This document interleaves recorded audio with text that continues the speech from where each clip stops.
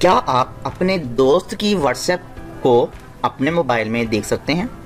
क्या आप अपने बच्चों की व्हाट्सएप को उनकी चैट को अपने मोबाइल के अंदर देख सकते हैं? जी हाँ बिल्कुल देख सकते हैं। आज की इस वीडियो के अंदर आपको यही बताने वाला हूँ कि किस तरीके से आप अपने दोस्त की, अपने बच्चों की चैट को परमानेंट अपने मोबाइल के अंदर, अपने पीसी के अंदर या फिर अपने लैपटॉप के अंदर आप देख सकते हैं।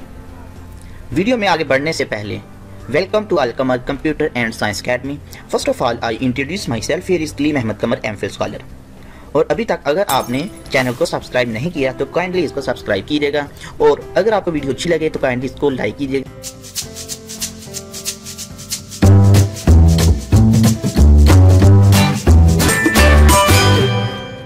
असल में ना फ़ाइल को या व्हाट्सएप को मोस्टली तीन तरीकों से हैक किया जाता है।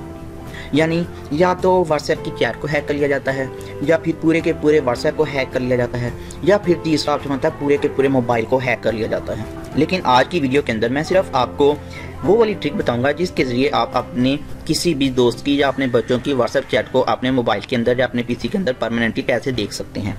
तो आज की वीडियो में मैं वो बताऊँगा, अगर इस वीडियो में मुझे अच्छा रिस्पॉन्स मिला तो इनशाला बाकी दोनों डीज दोनों ट्रिक्स भी मैं आपके साथ शेयर करूँगा। तो उसके लिए आपको चाहिए कि वीडियो को लाइक कीजिएगा और शेयर कीजिएगा और अपने दोस्तों से इसको फॉरवर्ड भी कीजिएगा ताकि वो इसको देखें और मज़ीद सब्सक्राइबर भी आ सकें। और अपना टाइम ज़ाय किए बगैर हम अपने बाकायदा वीडियो की तरफ़ बढ़ते हैं। तो अब हम चलते हैं अपने मोबाइल स्क्रीन की तरफ़। ऊपर आ गया हूँ। तो व्हाट्सएप की स्क्रीन के ऊपर अब हम देखते हैं कि हमने किस के डाटा को अपने मोबाइल के अंदर कन्वर्ट करना है। मसलन ये देखिए, मैं अपने इधर एक दोस्त डाटा को अपने मोबाइल के अंदर करना चाहता हूँ। ये समझें कि ये डाटा जो है, ये वाला मोबाइल का डाटा आप अपने दोस्त के मोबाइल से ले रहे हैं तो इस डाटे को आपने अपने मोबाइल के अंदर कन्वर्ट करना है। तो क्या करें कि ये जो इधर टॉप के ऊपर तीन डॉट्स हैं, आपने इन डॉट्स के ऊपर क्लिक करना। नीचे है मोर इस मोर के ऊपर क्लिक कर दें। फिर आ जाता है चौथे नंबर पे एक्सपोर्ट चैट एक्सपोर्ट चैट के ऊपर आ जाए। इधर फिर एक ऑप्शन है विदाउट मीडिया और दूसरा है इंक्लूड मीडिया अगर आप फ़ोटोज़ और वीडियोस भी साथ इंपोर्ट करना चाहते हैं तो इंक्लूड मीडिया कर दें। अगर आप विदाउट मीडिया करेंगे तो जस्ट टेक्स्ट ही फॉरवर्ड होगा टेक्स्ट ही आपके मोबाइल में ट्रांसफ़र होगा। तो मैं विदाउट मीडिया को क्लिक कर देता हूँ, ताकि जल्दी हो जाएगा वीडियो लेंथी नहीं होगी, आप इंक्लूड मीडिया भी कर सकते हैं। मैं विदाउट मीडिया कर देता हूँ।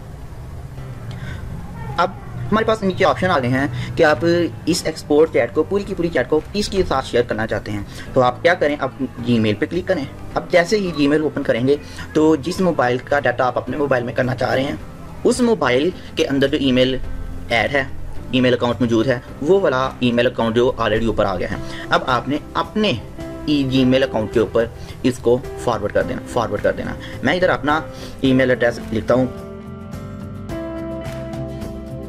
यानी मैंने अपने मोबाइल के ऊपर जो मेरे मोबाइल पे या मेरे पीसी के ऊपर जो ईमेल अकाउंट बना हुआ है, मैं उसके ऊपर इसको फॉरवर्ड कर देता हूँ। लो जी, मैंने इसको कर दिया सेंड अब ये देखें कि मुझे उस पूरी चैट को ईमेल की एक फ़ाइल के अंदर, एक नोटपैड की फ़ाइल के अंदर, वो सारी की सारी चैट मेरे मोबाइल की, जी, मेरे मोबाइल के अंदर जी आ गई है। तो इधर से आप इसको सीन भी कर सकते हैं और इसको आप डाउनलोड भी कर सकते हैं। तो हम जस्ट इसको सीन करते हैं। अब ये देखें कि हमारे पास ये पूरी चैट एक वर्ड की फार्म के, एक डॉक्यूमेंट की शक्ल के अंदर शो हो गई है। और ये तकरीबन 30 से 40 के राउंड पेज हैं।